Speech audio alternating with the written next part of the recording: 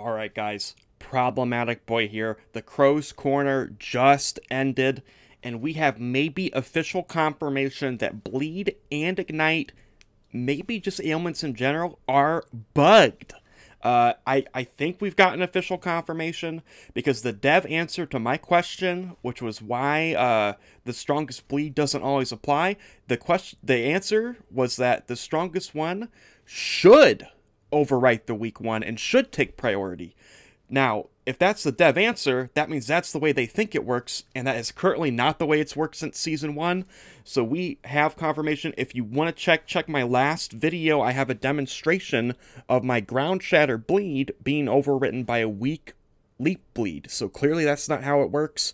Uh, yes, we, we have finally the info. Make sure I don't know how to get this fixed. We have to work on getting this fixed. Uh, shout outs to uh, uh, Gigi Lauren uh, for, uh, I, am not sure if I pronounced that correctly, but for running this week's uh, February 1st Crow's Corner. It was excellent. I'm so glad I got my question answered, and I had a follow up question answered, and he was able to highlight it and make sure he follows up on that with the devs. So hopefully something comes from that. If not, I'm making this video as another as another security. Please up this video. I don't make any money.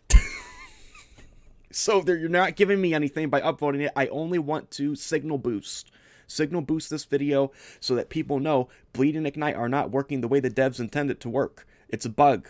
Okay, you can check my last video on the on the dev question and uh, see that it's bugged. You can tune into any of my streams.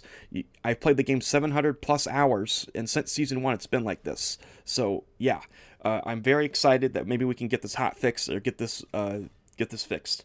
So uh, Boy signing out. Uh, mwah, amazing. Uh, bye.